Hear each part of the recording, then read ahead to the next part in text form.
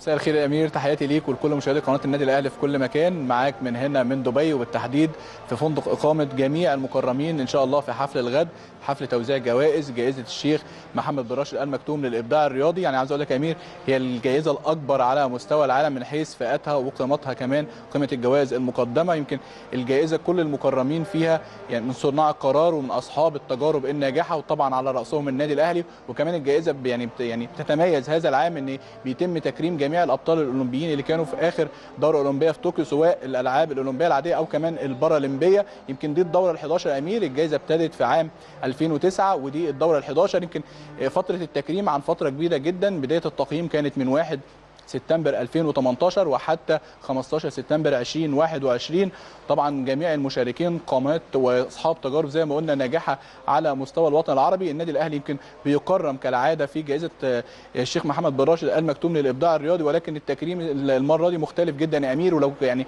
قريت صيغة التكريم فعلا فخر كل أهلاوي إن النادي الأهلي بيكرم بهذه الصفة. يمكن النادي الأهلي بيكرم في فئة المؤسسة العربية كأفضل مؤسسة رياضية عربية عن المجموعة الاقتصادية عن مبادرة التمويل الذاتي. يمكن زي ما ذكروا في الجائزة وسبب منح النادي الأهلي الجائزة إن مبادرة التمويل الذاتي أو المبادرة الاقتصادية للنادي الأهلي مبادرة تستشرق المستقبل ويجب الاقتداء بها في جميع المؤسسات الرياضية خاصة في ظل فترة كورونا.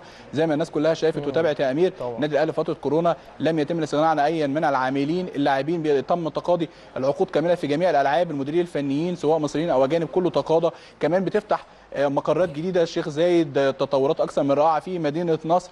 كمان افتتاح فرع الأقصر وكمان التجمع الخامس في الطريق. فأعتقد كل دوت دعا المسؤولين عن الجائزه وده إن شاء الله إن هنشوفه في لقاءات متتابعة بعد كده. دعا المسؤولين عن جائزة مجلس أمناء الجائزة هنا في دبي في مجلس دبي الرياضي. يمنحوا الجائزة للنادي الأهلي. يمكن احتفاء غير عادي وغير طبيعي هنا بالنادي الأهلي. أمير وبكابتن محمود الخطيب رئيس مجلس إدارة النادي الأهلي. يمكن النادي الأهلي بجد لما تيجي لما تطلع بره مصر تشوف قيمته أكبر وأكتر في عيون جميع الناس. يمكن نظرات الإعجاب والفخر بالنادي الأهلي بتشوفها بره مصر كمان. يمكن جمهور النادي الأهلي مش في مصر بس. إحنا كل الناس بتقابلنا هنا. يمكن الناس كلها منتظرة كمان وصول النادي الأهلي في كأس العالم للأندية. يمكن إن شاء الله بإذن الله يكون يعني ده بداية الجائزه يمكن زي ما قلنا البداية كانت من من المحيط والفوز بالنجمة العشره وكمان النهارده بنوصل لحد الخليج وانتصارات النادي الأهلي وفوز النادي الأهلي بأفضل مؤسسة رياضية عربية. أعتقد فخر ما بعده فخر ويا رب دايما النادي الأهلي في إنجازات ونجاحات ويفضل دايما في المقدمة دايما. كمان يا أمير يمكن مش النادي الأهلي بس اللي بيكرم من مصر يمكن مصر يبقى طولها التكريم بشكل كبير في الجائزه هذا العام. يمكن في ريال أشرف بتكرم عن جائزة الرياضي العربي طبعا بعد تحقيقها لذهبية الكاراتيه في الاولمبياد الأخيرة.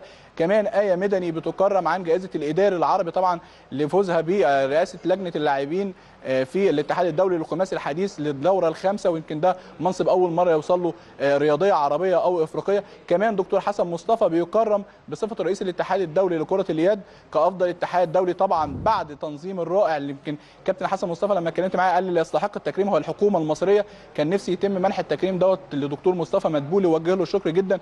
والحكومة المصرية اللي تص... يعني في ظل جائحة كورونا نظمت كأس العالم لكرة اليد لأول مرة في العالم بمشاركة 32 فريق ولاول مرة بنظام الفقاعة الطبية قال لي كنت فخور جدا كمصري في أولمبياد طوكيو لما طبقوا نفس النظام اللي اتطبق لأول مرة. قال لي اللي تستحق فعلا الجائزة.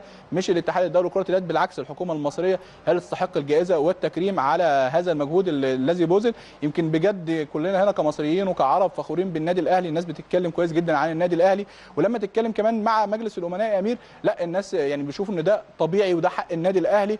ما فيش أي نوع من أنواع لا ده النادي الأهلي يستاهل أكتر من كده. الناس فخورين جدا بالنادي الأهلي وبيكرموا النادي الأهلي لأن هو فعلا يستحق التكريم وشايفين إن تجربة النادي الأهلي لابد أن تعمم وتكون زي ما بنقول يعني مثال يحتذى به في جميع المؤسسات العربية الرياضية. يعني بصراحة يا توفيق أنا بحييك كل التحية. واضح إن أنت مذاكر كويس جدا وقلت كل المعلومات اللي في الحقيقة كل جمهور النادي الأهلي حبيبها وأنا بصراحة بحب دايما المجتهد اللي بيحاول يطور من نفسه ويشتغل بشكل مظبوط. فأنا بحييك طبعا على كل الكلام اللي أنت قلته وحطيتنا في الصورة بشكل كبير قوي. لكن أنا عايز أسألك سؤال يا توفيق وبالتحديد فيما يتعلق باستقبال الكابتن محمود الخطيب فور وصوله لدبي. كيف كان الاستقبال بما انه رئيس اولا رئيس النادي الأهلي أو رئيس مجلس إدارة النادي الأهلي وبما انه طبعا أسطورة كبيرة من أساطير الرياضة العربية ومن أساطير كرة القدم المصرية والأفريقية. إزاي كان الاستقبال وحفاوة هذا الاستقبال؟ اشرح لنا الصورة كانت كنت شايفها إزاي. بمنتهى الامانه والمجاملة يا أمير يعني بمنتهى الامانه وعدم المجاملة بجد ده الحقيقة اللي شفناها بعيننا ورصدناها. كابتن محمود الخطيب يعني بيعامل معاملة الدبلوماسيين هنا في دبي والإمارات بشكل عام. يعني تشوف ال- التفاف الناس حواليه. يعني كابتن محمود الخطيب مش عارف يخرج من الفندق من كتر الزائرين اللي بيجوا يمكن الناس كلها ملتفة حواليه هنا. كابتن محمود الخطيب طبعا شهرته تعدت ال- الوطن العربي من المحيط للخليج. عاوز أقول لك كمان يا أمير يمكن الناس بتتكلم النقطة اللي الناس بتتكلم فيها جدا إن كابتن محمود الخطيب بقى مثال يحتذى بيه إن رياضي يبقى رئيس مجلس إدارة نادي بحجم النادي الأهلي. وكمان مش بس بياخد معاه بطولات ونجاحات قارية وعالمية لا كمان انت بتك... يعني بنتكلم في تكريم المرة دي عن المجموعة الاقتصادية للنادي الأهلي. انت بتتكلم ان رئيس نادي كان لاعب كرة قدم سابق وكان أسطورة سواء في النادي الأهلي أو منتخب مصر. كمان بيقود نادي عريق زي النادي الأهلي مش بس يحقق بيه نتاج... نتائج ونجاحات عظيمة لا كمان انت بتتكلم عن الجزء الاقتصادي.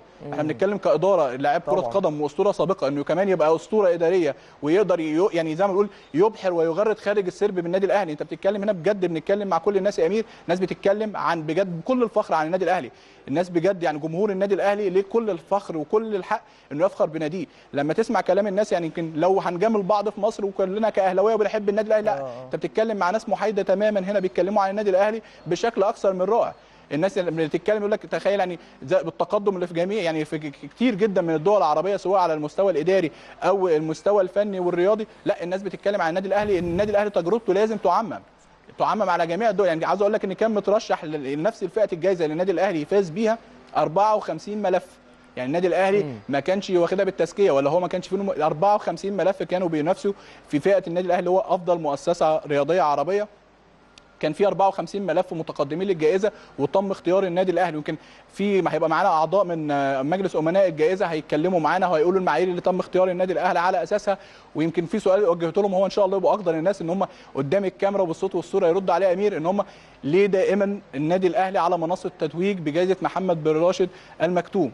ده هم أصحاب الشأن وأصحاب الجائزه هم اللي هيردوا عليه. ولما اتكلموا معاهم قالوا النادي الأهلي ده قليل جدا اللي بياخده النادي الأهلي يستاهل أكتر من كده بكتير. النادي الأهلي فعلا نادي يغرد خارج السرب سواء افريقيا أو عربيا. النادي الأهلي دلوقتي بقى خلاص بنتكلم يا أمير في مصاف الأندية العالمية سواء طبعاً. اداريا أو رياضيا أو على سبيل النتائج والقرارات بتاعته.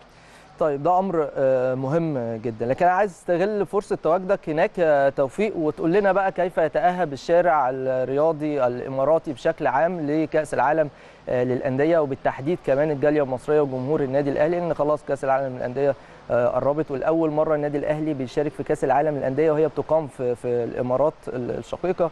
فقول لنا الأجواء عندك إيه وإزاي الكل بيستعد لهذه البطولة وبالتحديد لمشاركة النادي الأهلي.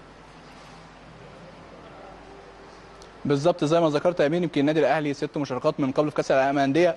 ابو ظبي كمان نظمت البطولة ولكن آه. أول مرة يحصل اللقاء إن النادي الاهلي يكون موجود في ابو ظبي. عايز أقول لك الأجواء غير عادية يعني زي ما كنا كمان بنتكلم مع أستاذ يعقوب السعد قال لي 80% من التذاكر بتاعة بطولة كأس العالم نفذت من الأسواق. يعني أجواء غير عادية آه، الحضور الجماهيري منتظر يكون غير طبيعي منتظر زي ما الناس كلها هنا بتقول لنا بتقول لنا أنتوا مش هتحسوا إن النادي الأهلي بيلعب خارج مصر. بالعكس يعني النادي الأهلي يعتبر هو الفريق المنظم للبطولة بحكم الجماهيرية. وبحكم الجمهور اللي هيكون موجود. أعتقد إن شاء الله يا رب يعني مشكلة اللاعبين تحل مع المنتخب والنادي الأهلي يبقى بكامل صفوفه. أعتقد بتوفيق من من ربنا إن شاء الله بالدعم الجماهيري اللي هيبقى موجود هنا. أعتقد إن إحنا هنشوف نسخة مختلفة جدا من النادي الأهلي في كأس العالم انديه بفضل الدعم والمساندة الجماهيرية. وأنت بتتكلم أمير في رواج غير طبيعي.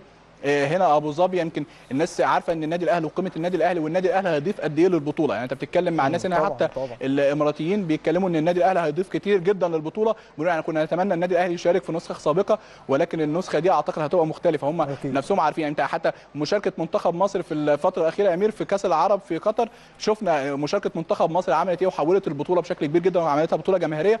أعتقد النادي الأهلي أنت عارف طبعا يعني أكيد سافرت مع الب- البعثة كتير خارج مصر وشاف جماهيرية النادي الأهلي في كل الدول خاصة أبو ظبي يمكن جالية كبيرة جدا. المصريين كلهم منتظرين النادي الأهلي زي ما بنقول يعني بكل اللهفة. وأعتقد هتبقى إن شاء الله شكل مشرف جدا وهتشوف الاستاد يعني زي ما بيقولوا كومبليت في كل ماتشات النادي الأهلي في كأس العالم للأندية. يا توفيق أنا بشكرك. شكرا جزيلا على كل هذه الأخبار والمعلومات.